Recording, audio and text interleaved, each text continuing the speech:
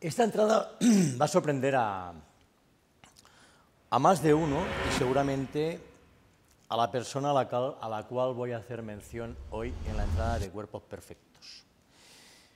Yo hoy voy a hacer mención de un, un preparador y ex atleta, aunque siempre será atleta porque sigue entrenando y en forma a pesar de su edad, que es Juan Marco Herrero. ¿Quién no conoce a Juan Marco, competidor, preparador de Francisco Bautista y de otros grandes competidores, competidor, de reputación en, su época y preparador de gran reputación actual y durante todo el tiempo, porque realmente siempre se llegó a preparar gente también. Y evidentemente, pues verme hablando de alguien en peculiar, en particular, y alguien peculiar como él, eh, podemos decir, bueno, ¿qué va a decir el Forte hoy sobre Juan Marco? ¿Va a ser bueno? ¿Va a ser malo? Pues primero voy a leer uno de estos posts que hace, que publica regularmente para sus seguidores, que yo también leo y sigo, por lo acertado que está prácticamente siempre con sus aseveraciones, y dice, una vez más, Juan Marco Herrero, una vez más queda reflejado que el peor enemigo somos nosotros mismos con nuestra prepotencia, con la soberbia de tirar por los suelos a nuestros campeones.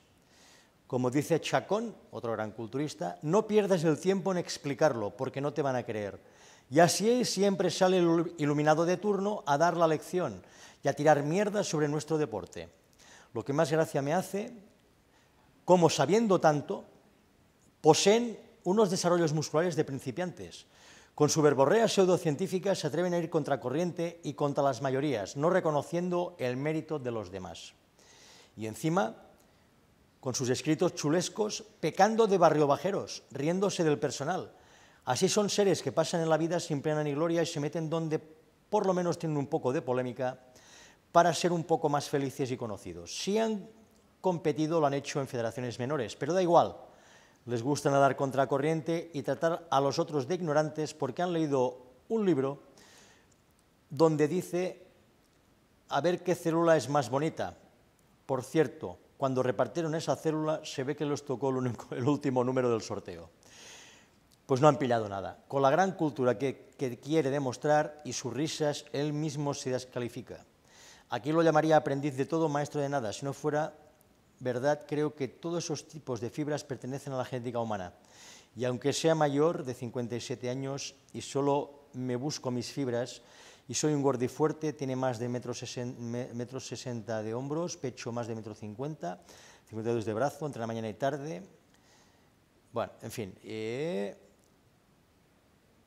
y bueno, ahora va a hacer una mesa redonda con más músculo, con Carrasco, Chacón, creo, y Chisco Serra, que os recomiendo que vayáis, la veáis.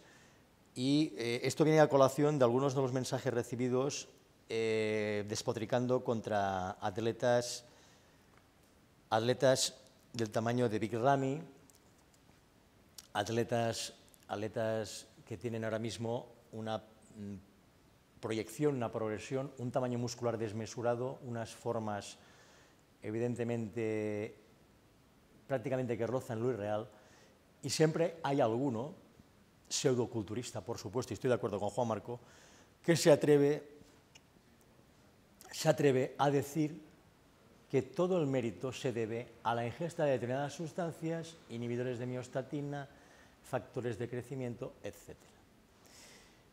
Yo entiendo a Juan, eh, entiendo Juan muy bien lo que siente cuando, cuando lee este tipo de comentarios. Yo evidentemente no pertenezco al grupo de privilegiados genéticos ni, ni pertenezco a un, grupo de, a un grupo de gran culturista por mi, por mi genética. Quizás sí por, mi, por la continuidad en el tiempo, compitiendo, y por los éxitos cosechados y por mi perseverancia, pero entiendo perfectamente lo que quiere decir Juan Marco y estoy totalmente de acuerdo con él. Hay gente que tiene una capacidad genética especial para poder desarrollar músculo, igual que hay gente que para correr 100 metros a la velocidad que lo hace Usain Bolt necesitan una estructura y una biomecánica determinada.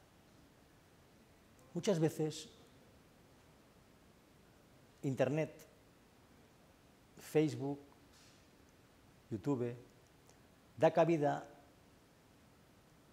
a personajes, en este caso en sentido peyorativo, o personajillos, que sin haber empezado con nadie, sin tampoco tener demasiados conocimientos, son capaces de hacer aseveraciones y formular comentarios amparándose en ciertas tesis científicas o en ciertos conocimientos adquiridos, muchas veces erróneos, para criticar a la gente que realmente con su trabajo, su capacidad de sacrificio, su genética, pueden llegar a ser de los mejores. Y para ser de los mejores, como dice Juan Marco, hay que nacer. Si no, solo te cabe la posibilidad de perpetuarte, sacrificarte e intentar llegar lo más alto, pero siempre estarás limitado por tu genética. Y en esto, Juan Marco, amigo Juan Marco, estoy totalmente de acuerdo y con que me ha impresionado la contestación que le diste a este sujeto que hizo unos comentarios en un post que hiciste también tú respecto al tema de la genética. No vamos a hablar de, esta persona por no darle más fama, pero realmente, realmente incluso lo que dice a nivel de, de teoría científica, de que todos tenemos las mismas fibras, etcétera, no es cierto. No es cierto. Todos tenemos fibra roja y fibra blanca. La distribución de cada fibra la determina la genética y hay gente que tiene mucho más receptores celulares que otros, lo que les permite incrementar su tamaño muscular porque tienen un anabolismo superior. Y más posee de anabolismo, por supuesto. Dicho esto, agradecer también a Juan Marco por su aporte al campo de la musculación y disciplinas asociadas, porque a pesar de ser un dinosaurio, por su edad. Y quizás su envergadura, no deja de sorprendernos por su agilidad mental. Gracias, seguimos con el